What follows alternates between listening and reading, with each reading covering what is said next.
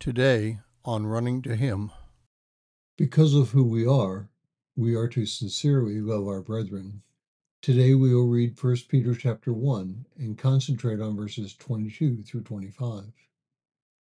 1 Peter 1 22 through 25 says, Since you have, in obedience to the truth, purified your souls for a sincere love of the brethren, fervently love one another from the heart for you have been born again, not of seed which is perishable, but imperishable.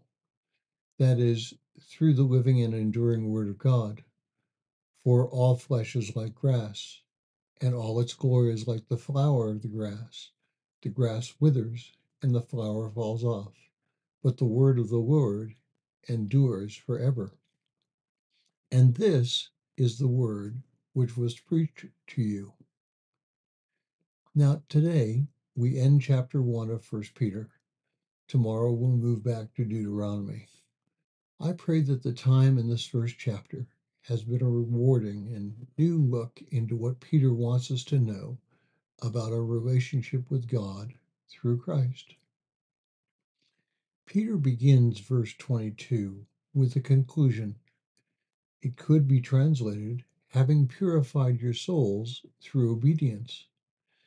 The fact is, Peter is helping the readers see that they are changed, that they are no longer the same as they were. They were obedient to the truth, resulting in purified souls. These souls have been purified into sincere, pure, and unhypocritical brotherly love towards others in Christ. Now, the term Peter uses to describe sincere love is an unhypocritical type of brotherly love.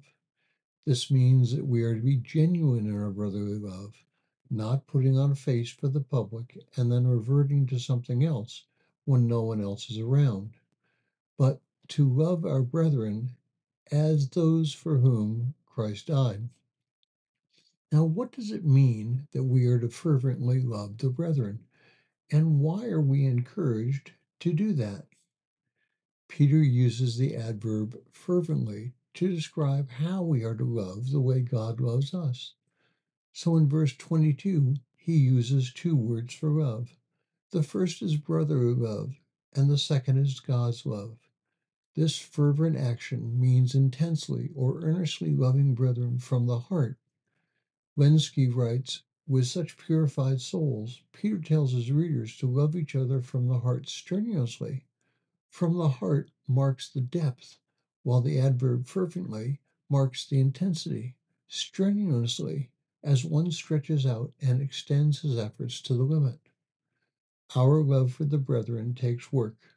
We need to make the choice to love even though some at times are unlovable, just as we are at times. Love, like happiness, is a choice we make in our lives. Thank you for listening. We pray that today's devotion was meaningful to you. We would love to hear from you. You can use either Facebook or YouTube to like, subscribe, share, and tell others about us. If you would like to contact us, you can reach me at Phineas Jacobus at runningtohim.net.